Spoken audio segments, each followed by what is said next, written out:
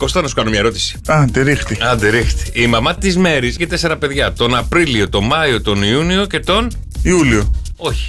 Σεπτέμβρη. Όχι. Οκτώβρη. Όχι. Νοέμβρη. Όχι. Δεκέμβρη. Ναι. Γενάρη. Ναι. Φλεβάρη. Ε, ξαναφτάσαμε πάλι.